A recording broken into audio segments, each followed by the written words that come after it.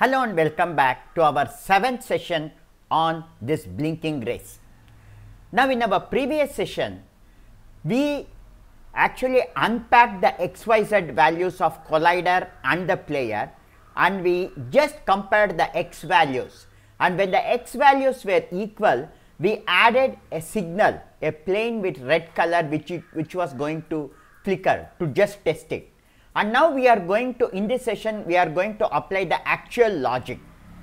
Now here, in this session, we are going to detect when the player jumps over the obstacle and as soon as he jumps, we are going to add a score.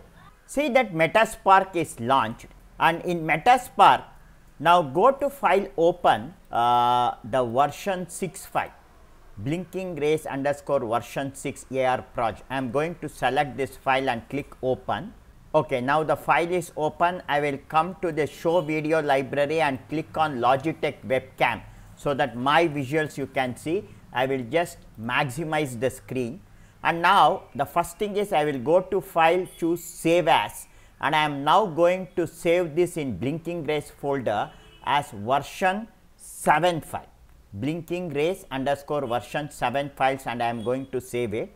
Now, the first thing is now coming back here in the last session what we had done is I will just make it a little bigger. We had taken the x value of the collider and the x value of the player and we controlled and saw whether it is equal and we added a tolerance of 50. Now, to detect the jump just x and y value if it is equal it is not enough. So, I will just play the game I will switch on simulate touch I will make this slightly bigger I will play the game and show it to you.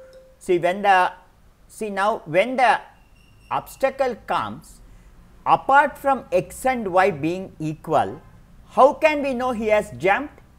The y value of the player should be greater than the actual y value of the collider. So, for this we are now going to do one more we are going to use another comparative operator which is greater than. So, for this now what I will do is I will come here I will come to add patch and I am going to type greater than. So, you have greater than patch here I will click add patch. Now, you can see we have our greater than patch added here. But now only the thing is now if you take the collider the collider is a photograph and the pivot point will be at the center. So, if I just compare the greater than even if it is slightly above the center of this object it will show that he has jumped. So, now to make him show that he has jumped the entire uh, collider what we have to now do is from the collider y I am going to drag out and leave to add a patch. Now, I am going to add a patch and the patch I am going to add is called as add. I will select this add patch and just for whatever y value I am getting from the collider animation, I will add another 50 to it. So, that now when he jumps actually this is the value that we he has to cross to jump.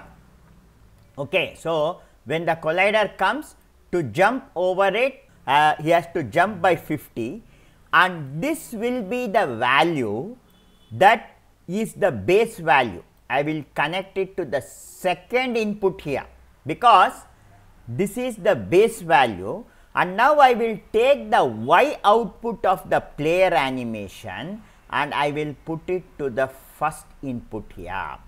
So, now when I put it to the first input, now you can see that this is the y in that is this is the input coming from the player and the second input is the input that we are coming getting from the collider. We are adding 50 and we are putting it as second input and the player value should be greater than this value. So, this is the logic we have applied. And now to test this what I will do is I will come back to the scene here. I will close all these uh, uh, that is canvases. Uh, coming to the test I will select test H.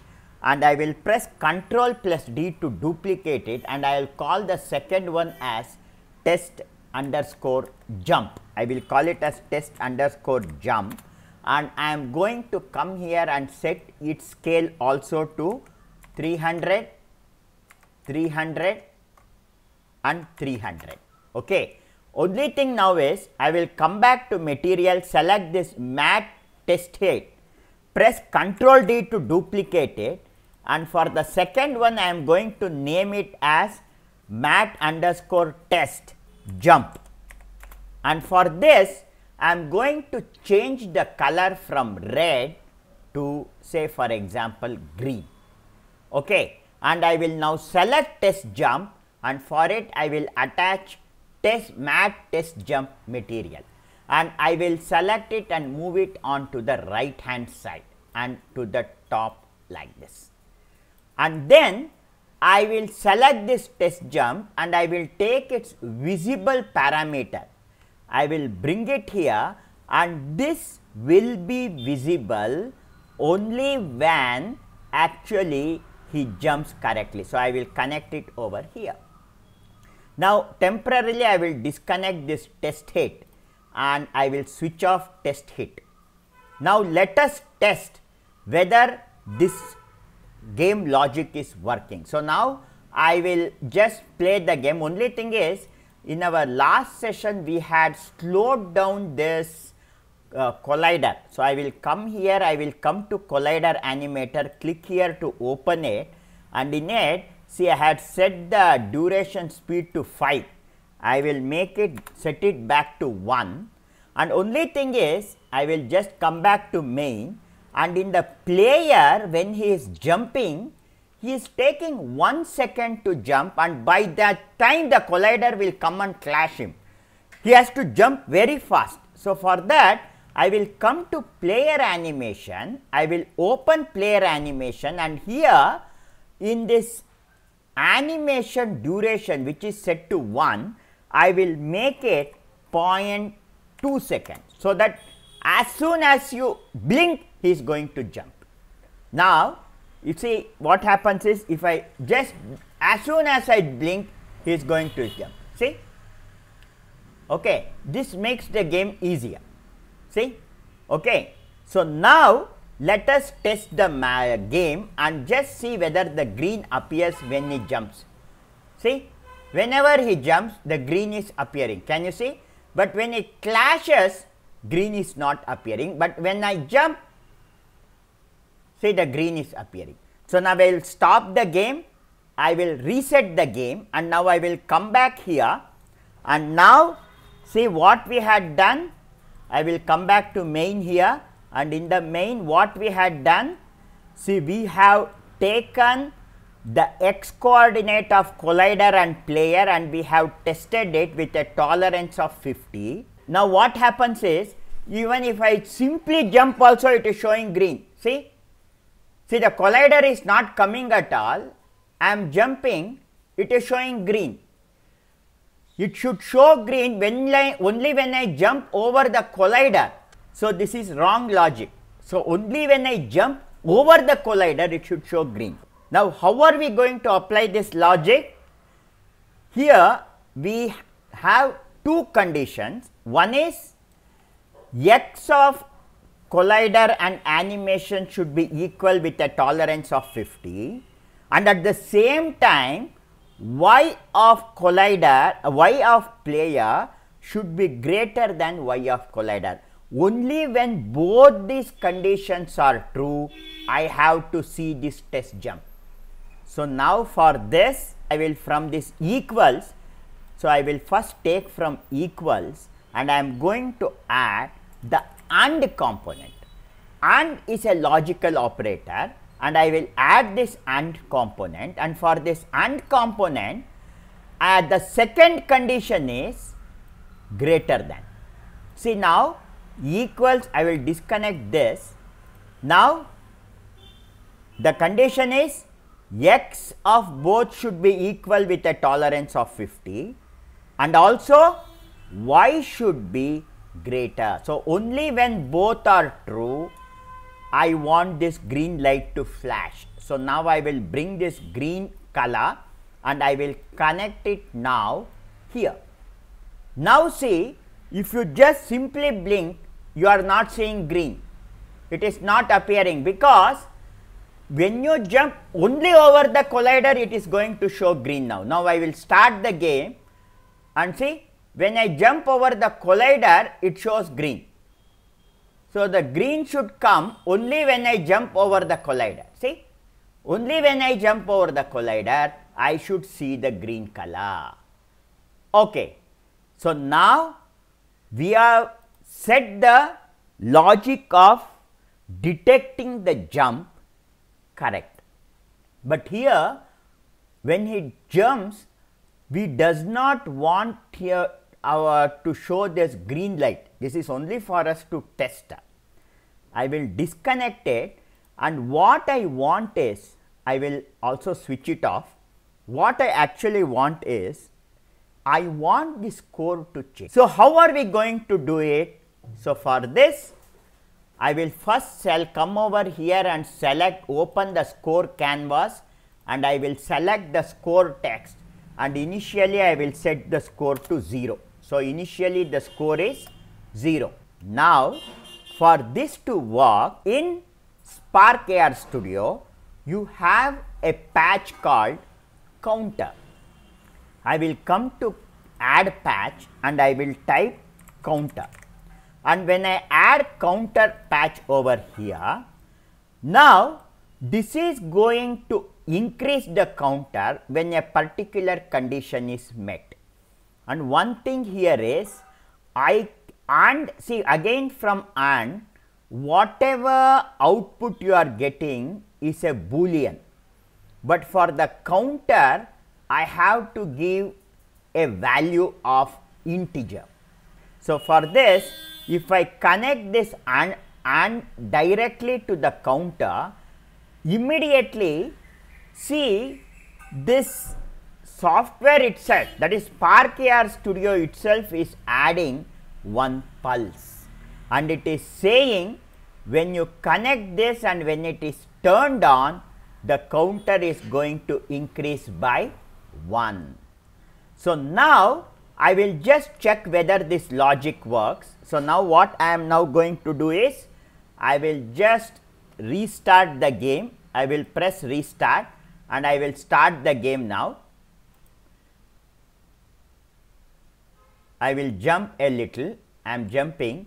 Say, as I jump I am going. Only thing now is as I am jumping, see I will stop.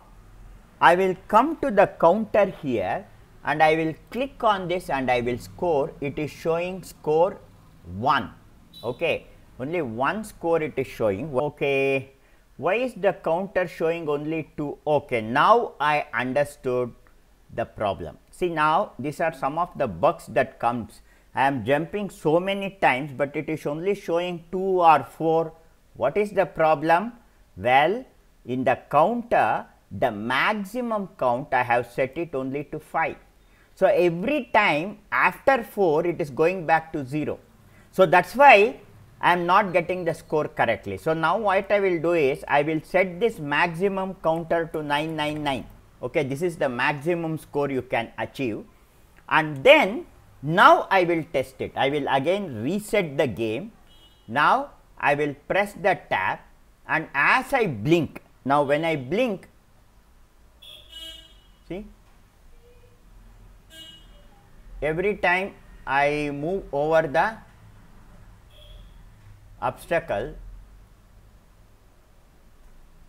see? I am moving over the obstacle I will stop the game and now I will see the counter the counter is now 9 okay so the counter is moving fine but only thing is now what should happen is this counter number should be displayed here. I should get this number here. I am seeing it in the patch editor. I want this number here. How to get that number here? Again I will select the score text and here you have one text variable. I will click on the left side to add this core text patch over here. Now, I have to connect this counter output to this core text, but this is not going to work. See if I connect it, it is showing red light. See you are seeing it as a red line and it is not connecting, it is showing an error. What is the problem? The problem is this core text is going to take only string type of input.